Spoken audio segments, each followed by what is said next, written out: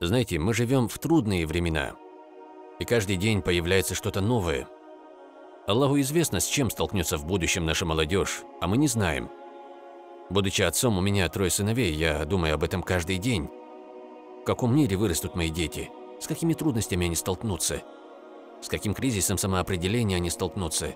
Но Америка и трудности, в которых родился и вырос я, кардинально отличаются от тех, с которыми столкнутся мои дети. Но чтобы эти дети и общество процветало и продвигалось, нужно учиться. Да, мы будем сталкиваться с непривычными проблемами, но запомните одно – проблемы, с которыми мы сталкиваемся сегодня, уже имели место когда-то в истории человечества. Мы не первые и не последние. Подобные трудности уже имели место. Если мы достаточно мудры, чтобы прочитать, изучить и обучиться, то мы найдем ответы. Однажды я вел урок в классе на тему социальные сети, болезнь соцсетей. И во время этого урока я сказал присутствующим, чтобы они подняли свои руки, если видели плохие вещи, происходящие в социальных сетях. Я перечислил 10 вещей. Видели ли вы это в соцсетях? Видели ли вы то в соцсетях? Видели ли вы людей, делающих что-то? Я перечислил 10 вещей, и на каждую вещь вся толпа поднимала руки, так как имели опыт в этом у себя в Фейсбуке, Твиттере, Снэпчате, Инстаграме. Они видели эти вещи. В конце я сказал этим людям, что это всеобъемлющий список, и тот, кто сделал этот список, вложил глубокий смысл в него – я хочу, чтобы вы знали, что тот, кто сделал этот список, никогда в своей жизни не пользовался Фейсбуком. Хотя Фейсбук появился лишь на тысячи лет позже. Имам Газали, да смилуется над ним Аллах, написал этот список. 10 болезней языка. Ну, вообще-то их упоминается 20 в книге Я в более обобщенной версии. И он перечисляет их там. И спустя даже не тысячи лет, а около 900 лет мы по-прежнему читаем эти же книги и извлекаем уроки, которым нас научили эти люди столь задолго. Обязательства могут меняться, но суть и решения всегда останутся теми же. Поэтому мы, как мусульмане, должны изучать свою религию. Аллах Святой Велик не спосылает первый аят Корана со слова «читай». «О люди, идите и читайте, идите и изучайте свою религию, потому что вы окажетесь среди людей, и они станут спрашивать вас о вашей религии.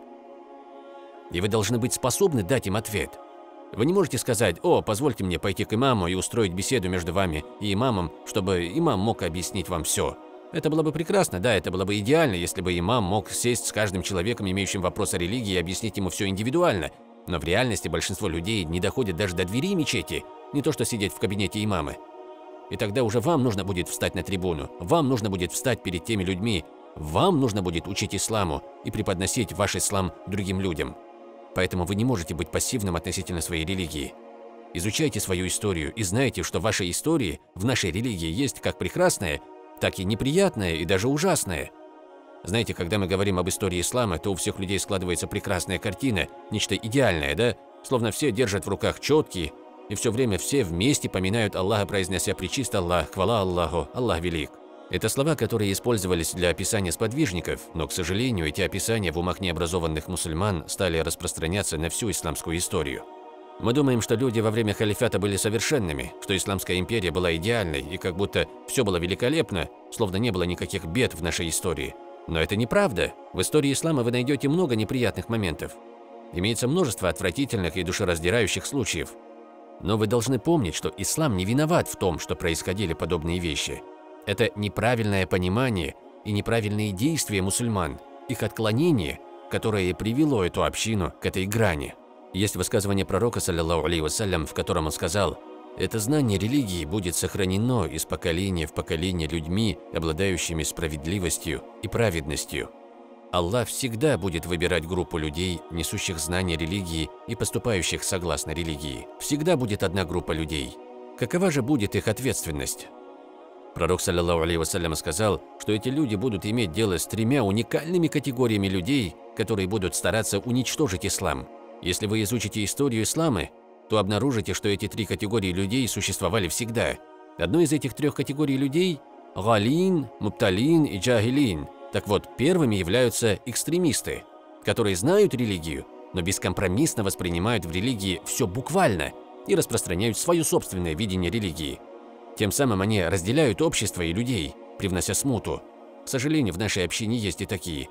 Далее пророк, саллиллаху алейхи вассалям, упоминает мупталиин. Те, кто не имеют никакого отношения к религии, агрессоры, но они желают наносить вред мусульманам, и хотят делать все, что могут, чтобы сломить ислам изнутри, снаружи, от основания до самого верха, со всех сторон, как только могут, лишь бы нанести вред. Третья категория людей, о которых сказал пророк, саллиллаху алейхи вассалям, это невежественные люди, то есть не знающие люди. Люди, которые не знают, что делать во времена трудностей и оказываются в ступоре, из-за чего и причиняют вред. Поэтому пророк, саллиллаху алейхи говорит, что нам необходимо заниматься изучением, быть образованными, изучать свою религию, изучать свою историю, размышлять над тем, что имело место в прошлом, видя, где был упадок в истории ислама, после чего сразу пришел расцвет. Да, я согласен, что мы живем в трудное время. То, что мы видим в нашем мире, это нечто беспрецедентное, потому что происходят массовые убийства. И знаете, это просто ужасно. Это общее представление ислама. Из-за того, что у нас есть социальные медиа, и любой может включить телевизор и получить порцию пропаганды того, кто сидит по ту сторону экрана и пишет сценарий. Так и есть. Но были времена в нашей истории, когда мусульмане по-настоящему страдали. Что произошло с ними? Это то время, когда монголы разграбили Багдад. Багдад был центром ислама. Это был город, построенный мусульманами. В этом городе был установлен халифат, и слово «Багдад» происходит от двух персидских слов «баг» и «дад». «Бага» означает «сад», потому что там было столь много садов. Это был такой красивый город. И после того, как монголы совершили набег на этот город, они разрушили настолько сильно, что город уже не вернулся к своему первозданному виду. Сотни тысяч, миллионы мусульман были безжалостно истреблены, и община мусульман была очень похожа на то, какой эта община является и сегодня. Все были поникшими, думая о том, что происходит, что же будет с нами.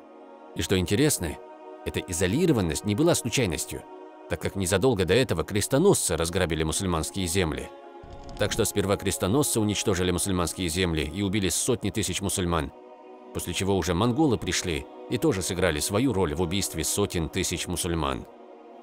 Но помните, что были ученые того времени, которые жили после нашествия крестоносцев и монголов? Так вот, люди спрашивали у них, что же происходит, почему мы так сломлены, что же нас ждет в будущем? Почему Господь так поступает с нами? Все пребывали в печали. Не было ни одного человека, кто бы не потерял друга, члена семьи или учителя, или ученика, или коллегу. Каждый потерял кого-то на тот момент. Каждый. И тогда ученые сказали людям, будьте терпеливы и помните, что благо и испытание от Аллаха, которое приближает нас к Аллаху, лучше, чем благо, которое отдаляет нас от Него. Иногда благо, полученное вами, может заставить вас забыть вашего Господа, а иногда вам посылается испытание, и это напоминает вам о вашем Создателе. Я научу вас воздеть руки и делать дуа и вернуться к Аллаху Свят Он Велик. Вы научитесь инаба через фитна, то есть вы научитесь тому, как вернуться к Аллаху Свят Он Велик посредством ваших испытаний в жизни. Аллах Свят Он Велик учит нас быть благородными и помнить своего Господа, и благо непременно снизойдет в каждой эпохе и на каждую группу людей, кто проявляет терпение. И в конце каждой трудности Аллах Свят Он Велик посылал им лидера, который возрождал дух людей, возрождал дух мусульман. Мы живем во времена испытаний. Но знаете, что эти испытания не есть нечто новое. Они уже посылались и были преодолены.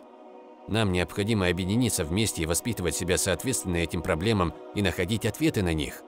Учитесь и изучайте, и вы обнаружите в нашей истории тех, кто имел плохое намерение относительно мусульман – они сделали неправильные попытки делегитимизировать религию. Это были те, кто пришел и думал, что самый лучший способ уничтожить ислам и его традиции – это каким-то образом найти какой-либо изъян и недостаток в Коране. Это тактика, которая использовалась еще со времен самого пророка, саллиллаху вассалям, то есть найти изъян в сохранности Корана, в его смысле. Затем пришла другая группа людей и сказали, давайте оставим в стороне Коран и найдем недостатки в хадисах пророка, алейхиссаляту вассалям. Потом появилась еще другая группа людей и начали говорить, оставьте пророка, саллиллаху вассалям, давайте найдем изъяны у сподвижников пророка, алейхиссаляту. Если мы допустим трещину в этой прочной конструкции, то все остальное просто рассыплется, так как наши традиции основываются на этих трех вещах – Коран, Сунна и сподвижники, да будет доволен всеми Аллах. И каждый раз, когда появлялись такие люди, Аллах Свят Он и Велик посылал поколение мусульман, которые возрождали науку, оживляли ее и показывая тем самым, что религия Аллаха свят он и велик, останется и сохранится до самого судного дня. И теперь я перед вами с двумя предложениями, с двумя идеями. Первое. Я хотел бы попросить каждого начать научиться размышлять над своей религией, начать исследовать, задумываться глубоко. Когда читаете аят, не проходите мимо просто так. Сядьте и размышляйте об этом аяте.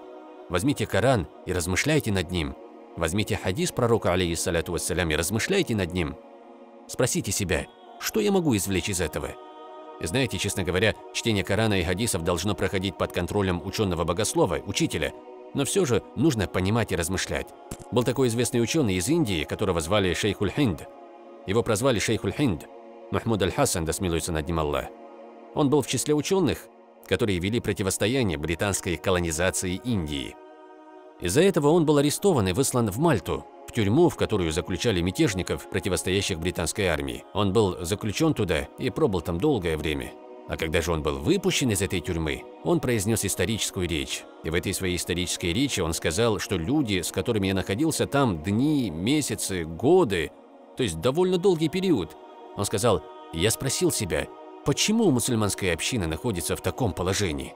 Как мы докатились до такого? И он сказал, я думал и размышлял над этим так много, что каждый момент моего пребывания в тюрьме был посвящен этому. Человек стал мыслителем. И сегодня, когда я выпущен на свободу, я нашел ответы на свои вопросы. Изучая историю ислама, я обнаружил, что каждый раз причиной падения умма всегда являлись две вещи. И что это за были две вещи? Он сказал, первое – они оставляли Коран. Они отдалялись от Корана. И второе – они утрачивали свое единство. Каждая группа думала только о себе, Арабы думали о себе, афганцы о себе, индийцы, пакистанцы о себе, сомалийцы о себе. Каждый думал только о себе. А когда такое происходит, вам становится наплевать на других людей. Притеснение становится общим. Люди могут прийти и говорить все, что захотят, и никто даже не встанет, пока вы не встанете вместе как единая община. Пророк, саллиллаху алейхи вассалям, научил нас этим урокам единства. Вспомните то безупречное, то идеальное общество. Это было общество пророка, алейхиссаляту вассалям. И второе, о чем упоминалось после разделения, это отсутствие связи с Кораном. Потому что если человек будет связан с Кораном, то Аллах Свято Велик прольет дождь мудрости на сердце этого человека. И Аллах Свято Велик сохранит этот народ. Аллах Свято Велик защитит таких людей. Итак, первое, к чему бы я хотел призвать каждого из вас – стать людьми размышляющими. Размышляйте над прошлым и готовьтесь жить с тем, что ожидает вас впереди. Второе.